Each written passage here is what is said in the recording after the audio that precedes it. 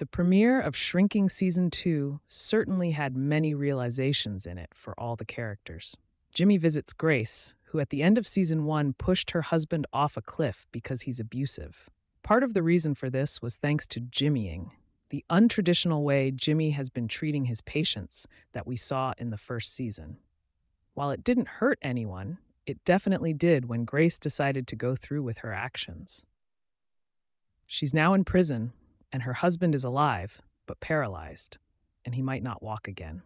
She's rightfully angry at Jimmy, and he feels guilty, even bringing in his lawyer friend Brian to represent her.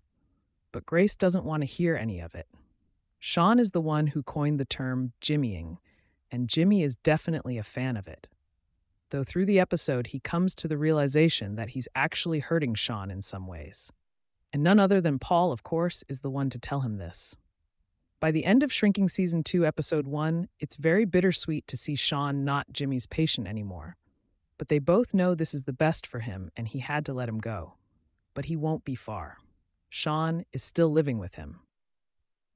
Speaking of Sean, he and Liz have opened up their food truck, and it seems to be going well so far, which is great to see. Then there's Gaby. Unfortunately, she's caught feelings for her friend while they've been hooking up, though she knows that Jimmy doesn't feel the same way. It's just casual for him. And it's been fun for them both, but she wants more. And with this realization, she's stuck between a rock and hard place. Paul also realizes his feelings for his girlfriend, Dr. Julie, though not before pushing her away first. Gaby points out that the two have been spending lots of time together, and this scares Paul at first. Though eventually he comes around, we all know he has a soft side, and the two confess their love for each other. Not in the most romantic way, but it was very fitting of the way their relationship is. Alice is doing much better, though she's worried about her dad and that he might spiral again. She's so happy he's in the place where he's at right now and confides all of this to Paul. Their chats are always a highlight of an episode. And what's great about the start of this season is seeing Alice and Jimmy being open with each other versus how they kept things from each other last season. She shares her feelings with him and he reassures her he's fine. And he is, up until Jimmy gets a surprise visitor at his office. It's the drunk driver who hit Tia's car and caused her accident.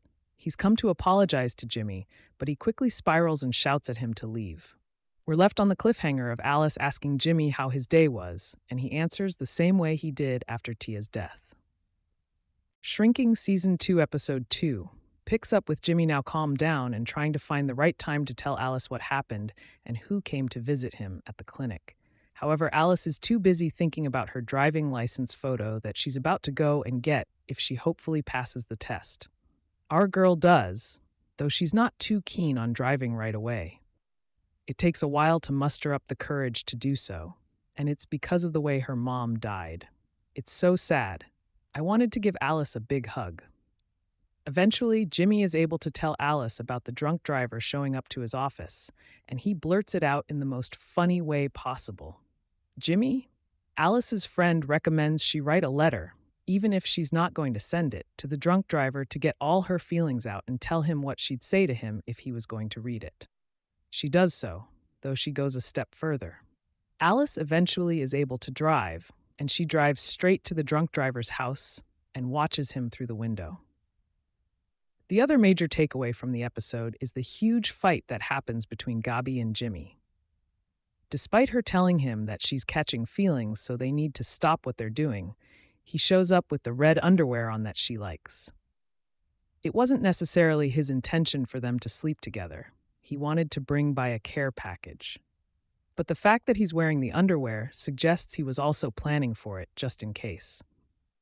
This, of course, upsets Gaby and makes her angry because she told him how she feels, and he chose to ignore that.